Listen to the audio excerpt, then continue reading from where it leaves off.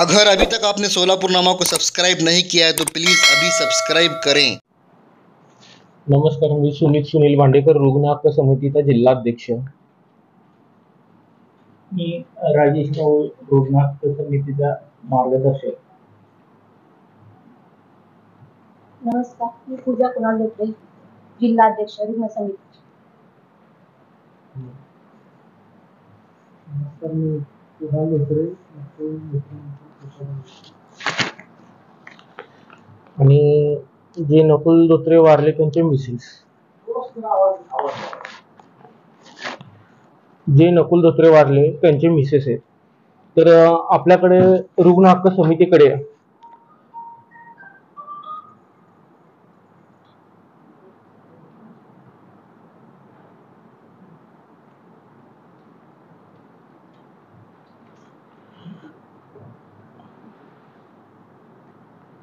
चालू करू का? आपल्या रुग्ण हक्क समितीकडे एक तक्रार आली होती डिसेंबर महिन्यात की मयत नकुल जीवराज धोत्रे यांच्या चुकीच्या उपचारामुळे मृत्यू झालेला आहे. असं त्यांच्या नातेवाईकांचं म्हणणं होतं. दिनांक एकोणतीस जुलै दोन हजार तेवीस रोजी शारीरिक त्रास होत असल्याने नकुल धोत्रे हे बावीस येथील गुलचंद शहा यांच्या वर्धमान क्लिनिक या नाव नावाने असलेल्या हॉस्पिटलमध्ये नकुल धोत्रे यांना ऍडमिट केलं होतं. ऍडमिट केलं होतं आणि दोन दिवस त्यांच्यावरती उपचार चालू होता. आणि एकतीस जुलै रोजी नकुल धोत्रे यांचा मृत्यू झाला. डॉक्टर गुलाब शहा यांच्या वर्धमान क्लिनिकमध्ये मयत झाले सांगण्यात आले. सदर नकुल धोत्रे यांचा मृत्यू वर्धमान क्लिनिक डॉक्टर गुलचंद शहा यांच्या चुकीच्या उपचारामुळे झाला.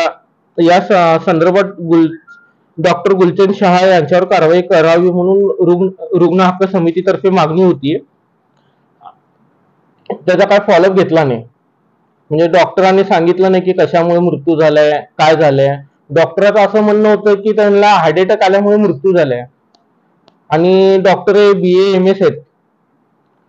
असल्यामुळे तिथं हे केलं होतं आणि तिथं त्या हॉस्पिटलमध्ये कुठल्याही प्रकारची सोय नव्हती. म्हणजे ऑक्सिजन व्हेंटिलेटर काहीच नव्हतं. म्हणजे नॉर्मली ओपीडी ओपीडीला कसं असतं की पेशंटला इंजेक्शन दिलं सलाईन लावलं आणि पाठवण्यात येतं.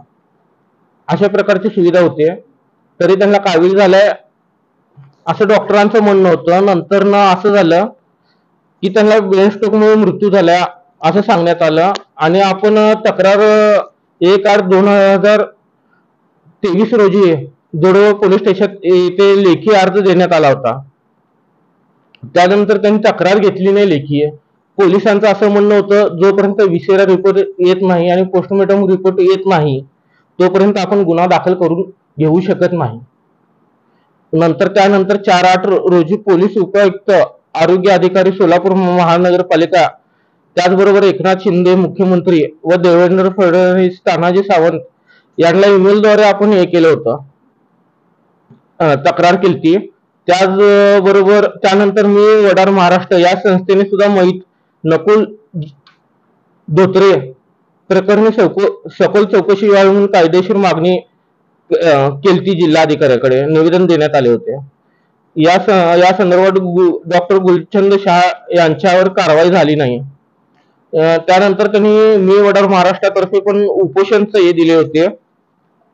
आंदोलन करू म्हणून तर त्यांना उपोषणची आंदोलनाचं परमिशन देण्यात आलं नाही. त्यानंतर हो.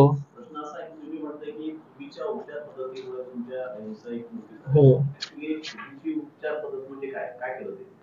चुकीचा उपचार म्हणताना पेशंटला जेव्हा ऍडमिट केलं होतं कावी झालं असं सांगण्यात आलं होतं. कावीच्या दरम्यान जेव्हा पेशंटच्या वरती ट्रीटमेंट चालू होतं तर त्यांच्या नातेवाईकाचं म्हणणं होतं की पेशंटचे हातपाय बांधण्यात आले होते. हा- हातपाय बांधून उपचार करण्यात आला होतो. हातपाय कधी बांधतात? एक तर पेशंटची मानसिक स्थिती ठीक नसेल मनोरुग्ण असेल किंवा तो पेशंट उपचाराला हे कॉपरेट करत नसेल त्यावेळेस. आणि उपचार असे काही होते की पेशंटला हातपाय बांधण्याची वेळ आली होती. त्यामुळे आम्ही हे करतो?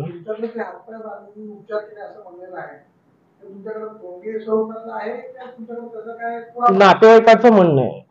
म्हणणं आहे. पुरावे काही नाही.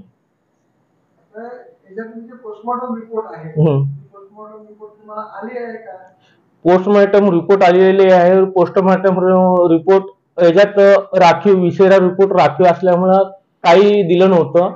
विसेरा रिपोर्ट गेल्या महिन्याच्या अठ्ठावीस ते मार्चच्या अठ्ठावीस तारखेला जोडवळ पोलीस स्टेशनला आलेला आहे. आम्ही पाठपुरावा करून तो मागून घेतला होता. पोलिसांकडे एक दीड महिना झाला विसेरा रिपोर्ट आलाय. आम्ही वारंवार मागणी करत असून सुद्धा ते विसेरा रिपोर्ट काय रिपोर्ट आहे ते आम्हाला सांगत नाहीत पोलीस पण. आणि याच्यात अजून एक असं आहे की आपण जेव्हा चंद्रकांत पाटील दादांना हे दिलतं निवेदन तेव्हा वैद्यकीय अधिकाऱ्यांना मंजुरी कुलकर्णी मॅडमला ते पत्र आलं तिथनं कारवाईबाबत. जेव्हा त्यांनी आम्हाला बोलून घेतलं की हॉस्पिटलवरती आम्ही कारवाई करू तुमचं म्हणणं द्या. या एक तारखेला काहीतरी आम्हाला बोलून घेतलं होतं. तेव्हा आम्ही गेलो. आमच्या अगोदर डॉक्टर येऊन बसले होते. डॉक्टरांशी आणि त्यांच्याशी काय संवाद झाला काही माहिती नाही आम्हाला जेव्हा हे केलं होतं आम्ही जे- आमच्याकडे जे आहेत ट्रीटमेंट केलेले केस पेपरपासून सगळं आम्ही तिथं दिलेलं आहे मॅडमला मग मॅडम काय बोलले आम्ही कमिटीसाठी गठीत करण्यासाठी जिल्हा चिकित्सालयाकडे वर्ग करतोय. जिल्हा चिकित्सालयाकडे त्यांनी वर्ग केला. वर्ग केल्यानंतर अं, कमिटी बसवलंय म्हणून आम्हाला सांगण्यात आलं होतं. त्या टायमाला पण तारीख चुकली होती म्हणजे जी आर जे होतं ना दोन हजार चौदाचा जी आर दिलता. त्यानुसार ती कमिटी गठीत केली नाही म्हणजे जाऊ शकत नाही. त्यामुळे आम्हाला सांगण्यात आलं होतं. मग आम्ही तक्रार करून ते जी आर मिळवला. जी आर मिळवल्यानंतर ते दहा सालेच्या याच्यानुसार पत्र काढले होते. त्याचा जी आर आहे. आणि त्यांची चुकीची प्रत केलेली आहे. परत एकदा चौकशी व्हावी म्हणून त्यांनी पत्र दिले आणि त्या पत्राचा म्हणजे याचा अध्यक्ष त्यांनी डीनला करतो बोलले होते समितीचा. समिती अद्याप गठीत झालेली कडे नाही आम्हाला माहिती नाही. विचारला असता तीन महिने होऊन गेले. अजून त्या समितीचा अहवाल आम्हाला काहीच भेटलेला नाही आम्ही आता हे करून बघून एक उपोषण करून कोर्टात दाद मागणार म्हणजे याच्यात सगळ्याकडनं पोलिसांकडनं पण काय सपोर्टिंग होत नाहीये. आणि वैद्यकीय अधिकाऱ्याकडनं पण काय होत नाही आमच्यासाठी.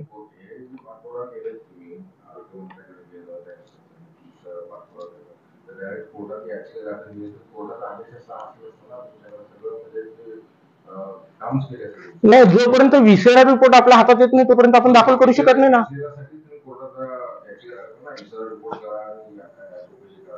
मग त्याच्यासाठी सर आपण कबाडे उपायुक्त कबाडे सर आहेत ना त्यांना रिक्वेस्ट केली ती मग त्यांचा आपण लेटर पॅड घेतला होता.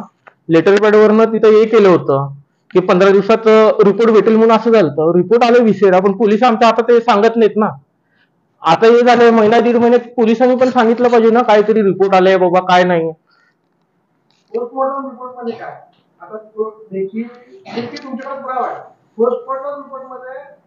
आता. रिझर्व विसेरा रिपोर्टसाठी रिझर्व ठेवला. अवयव काढून ठेवल्यामुळे विसेरा रिपोर्टचा अवयव हे केल्यामुळं आपण पोस्टमॉर्टम रिपोर्टमध्ये काही सांगू शकत नाही त्यांचं म्हणणं आहे. पोस्टमॉर्टम रिपोर्ट पण आहे आपल्याकडे. म्हणजे. आम्हाला असं म्हणणं आहे की प्रशासन कुठंतरी डॉक्टर गुलचंद शाह यांना पाठीशी घालत आहे. पोलीस प्रशासन आहे किंवा आरोग्य विभागाची जी काही यंत्रणा आहे ती गुलाबचंद शहा यांना पाठीशी घालते आणि या डॉक्टरांचं वय सुद्धा झालेलं आहे. आता म्हणजे डॉक्टर 83 वर्षाचे. अं, इ- हा जो व्यवसाय आहे सुरुवातीला आपण डॉक्टरांना देव मानत होतो. जो जीव वाचवत होता. पण आता तसं राहिलेलं नाही आहे. आता डॉक्टर की हा एक व्यवसाय झालेला आहे आणि त्याच्यातून फक्त पैसा कमवणे हाच एक हेतू झालेला आहे. मग त्यासाठी ते मरेपर्यंत प्रॅक्टिस ठेवतात. पण एक ठराविक पिरियड असा येतो की ज्यानंतर माणसाची बुद्धी किंवा स्मरणशक्ती हळूहळू कमी व्हायला लागते.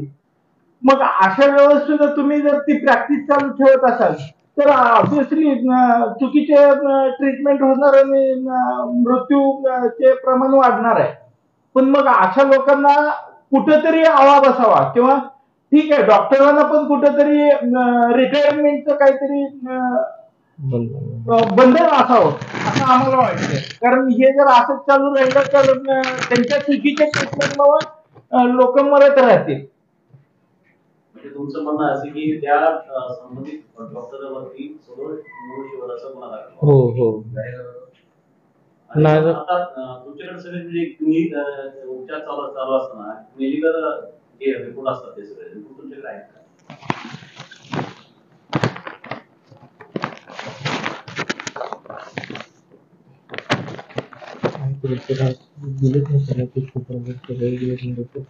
आहेत सर आमच्याकडे सगळे आहेत?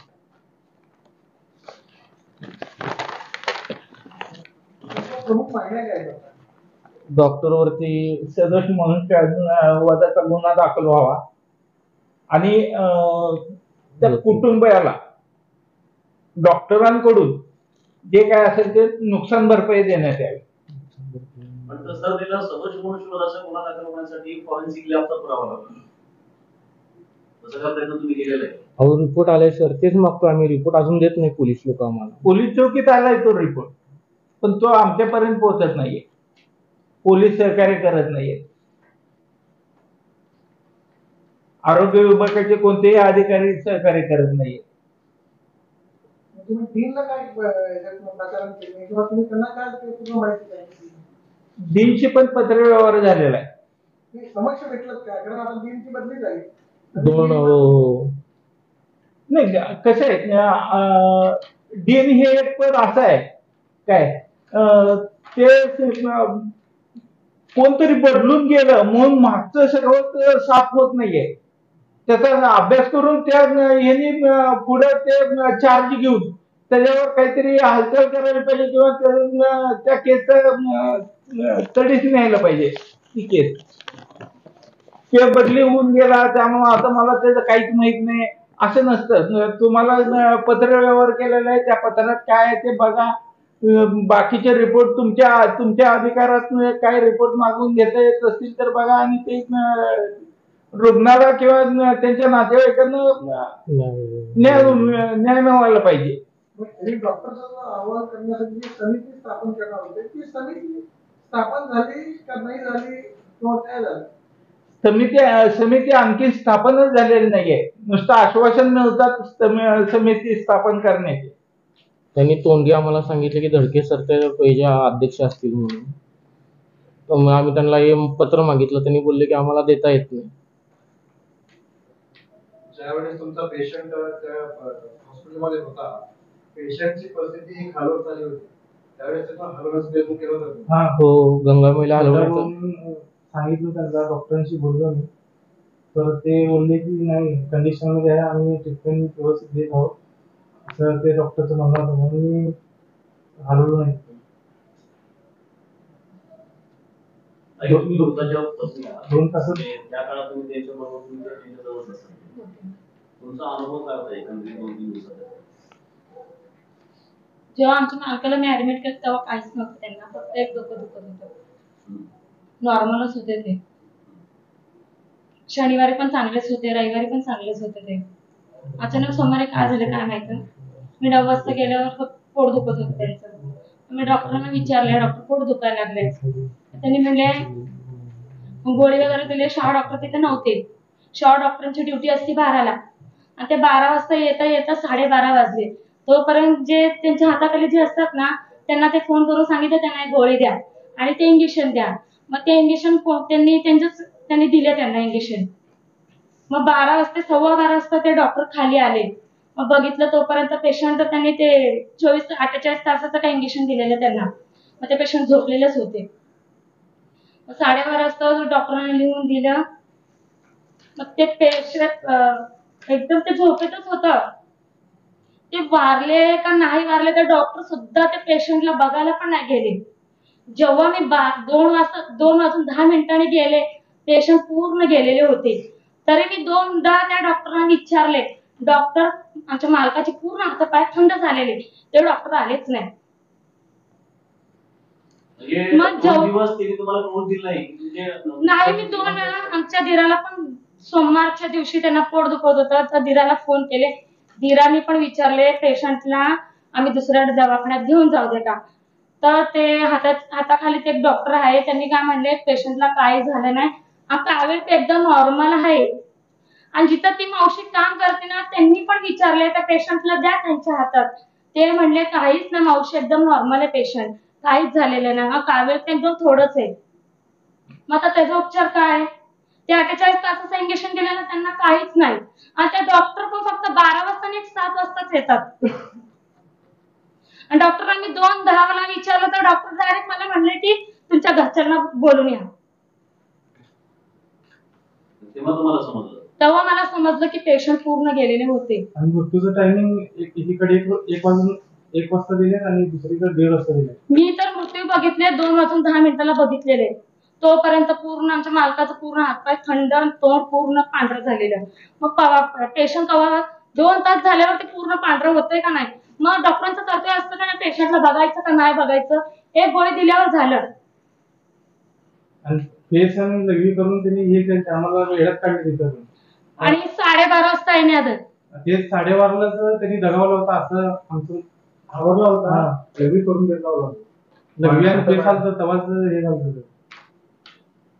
मग तेव्हा त्या डॉक्टरांनी पूर्ण त्यांचं पॅन्ट वगैरे बदली केले. तेव्हा ते पेशंट गेले तेव्हा पण त्या डॉक्टरांना माहीत नाही की पेशंट आहे का नाही.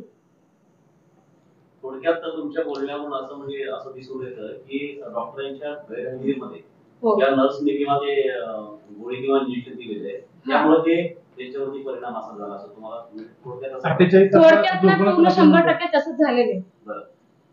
माझं म्हणणं एकच होतं तुम्ही पेशंटला बघायचं का नाही? सकाळी नऊ वाजेपर्यंत त्यांना त्रास होतो. बारा वाजता त्यांना तुम्ही इंजेक्शन दिलं. आणि डायरेक्ट त्याच्यानंतर त्यांनी बघितलेच नाही. जेव्हा मी त्यांना दोन वेळा बोलवले अठ्ठेचाळीस तास थांबा तुम्ही. अठ्ठेचाळीस थांब. एवढे दोन शब्द मला म्हणले. मग ते अठ्ठेचाळीस तर पूर्ण पूर्ण वर्षालाच गेले ते. ते पेशंट जवळ डॉक्टर तेव्हा आले. डॉक्टरांनी ते बघितले पण नाही. ते आता खाली जे डॉक्टर असतात ना त्यांना ते सांगत होते.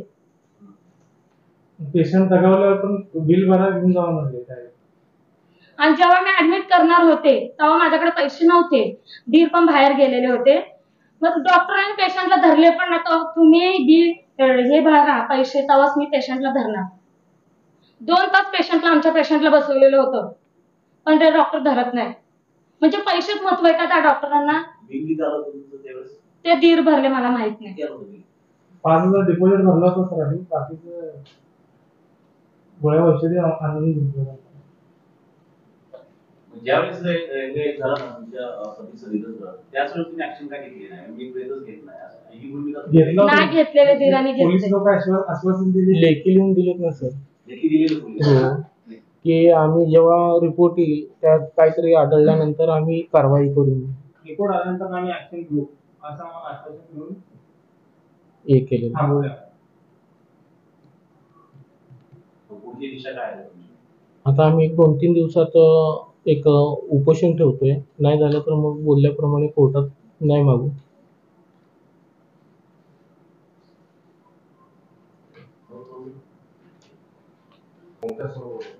चक्र उपोषण बसू